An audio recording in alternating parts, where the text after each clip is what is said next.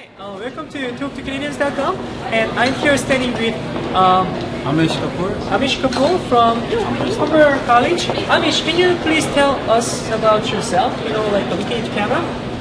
Yeah, sure. Um, I came here about a year ago, and uh, I'm currently with the Humber College as a student. I'm doing a postgrad business management course, and also I'm working as a student ambassador in International Center Humber. Uh, before that, I was back in India, uh, New Delhi, the capital.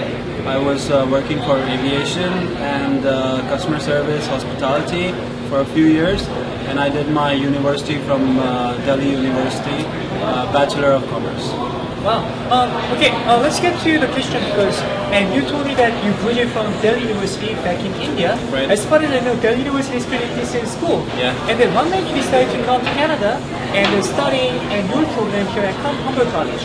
Uh, personally, uh, Canada is a, is a good is a good place, I believe, for postgrad courses.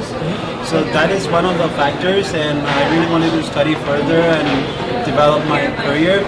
Also, they have an opportunity over here, which actually gives you um, uh, time to actually build up your career here. They give you uh, some work experience over here, which would be useful.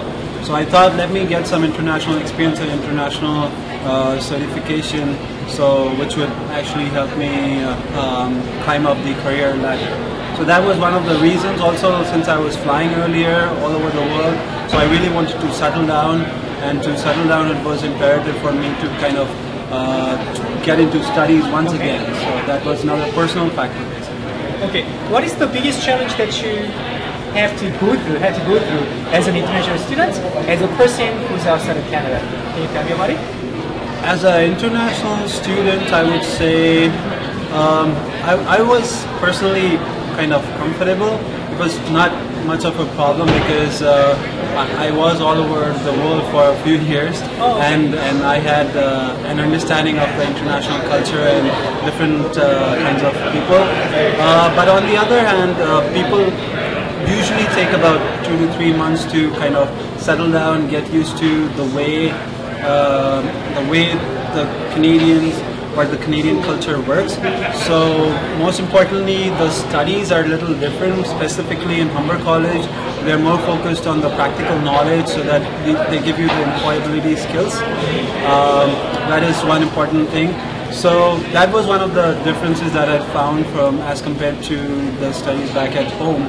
Uh, specifically, this is a college, so a lot, lot of uh, information, lot of assignments, lot of projects, but that actually develops a good personality in you, which makes you really, really um ready for the job. Okay, sounds good. Um, I want you to tell uh, potential international students or current international students who are studying, and some of them they're like they're struggling a lot, right? And uh, to those people who are struggling to kind of settle down to study here in Canada, do you have any pointers to share with those people?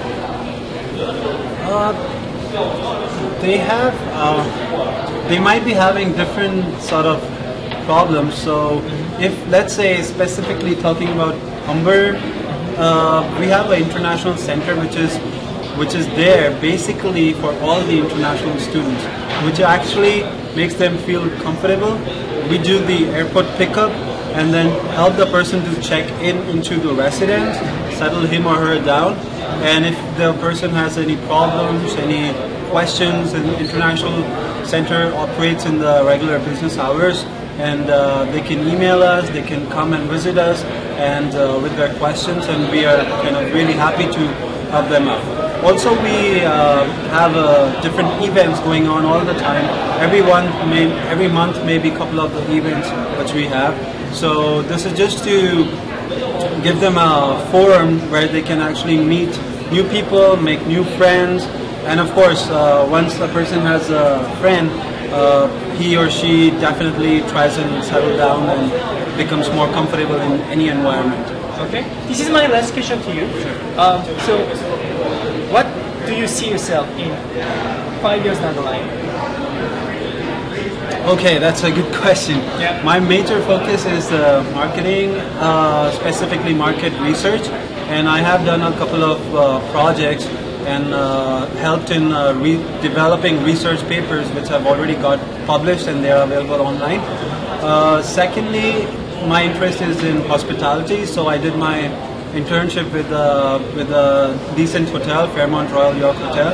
So I, I, I wish that uh, I can pursue or I get an opportunity with market research or maybe with hospitality, and then I see myself in a decent position after five years Okay. in any of these fields or both of these fields. Okay. And thank you for your time and coming to my show at talktocanadians.com. I really appreciate your time. And was thank you very much. my pleasure. Thank you. All right.